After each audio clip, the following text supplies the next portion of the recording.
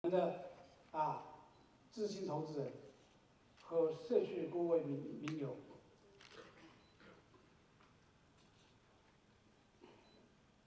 各位嘉宾，各位朋友，女士们、先生们，我受第二届北美华人财富论坛组委会之托，向大家致辞。二零零八年，这个已经过去，但不能不提起，在两千零八年发生了系列的变化，每一次变化都是巨大的、百年不遇的，而最大的变这个变化就是金融海啸。金融海啸给人们的生活跟经济、世界经济带来了巨大损失，大家都是非常的要怀着其中的心情啊来面对这个挑战，面对这种机遇。现在世界越来越全球化。互互互惠合作是以后的啊发展方向跟主题。我们这次尽管我们财富俱乐部啊刚刚开端，我们很想在这样一个历史时期，经济啊处于困难时期，给大家有一些启迪，有一些帮助，有一些啊。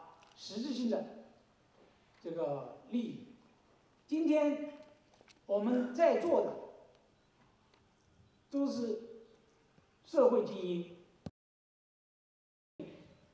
探讨经济，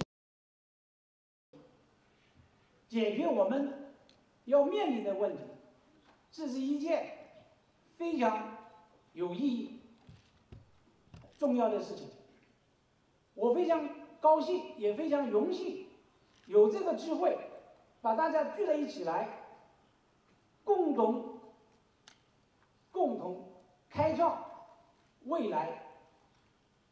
今天同时又是啊新年，就是中国的新年快到的时候，大家聚在一起来啊度过这个欢乐的时刻。我谢谢大家。谢谢大家今天来到这里，我们一起来啊，这个人民共和国驻多伦多总领馆总领事朱朝英女士致辞。China in Toronto, to address our conference. Let's give her a warm applause.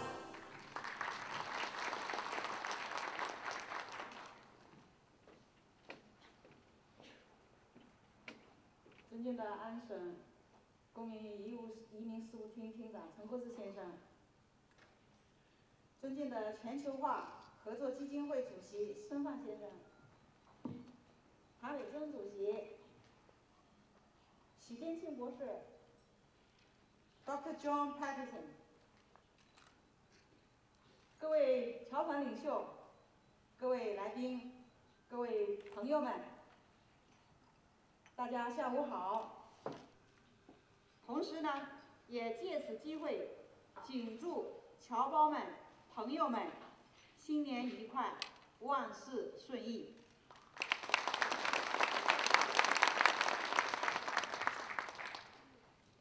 前，全球金融动荡在深度和广度都不断的发展，已经从局部蔓延到全球。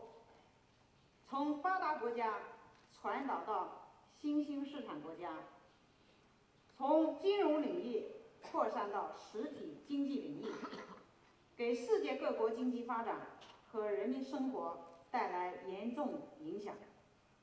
其严峻程度上，应该说为上世纪三十年代以来所罕见。在此情况下，今天唐伟忠。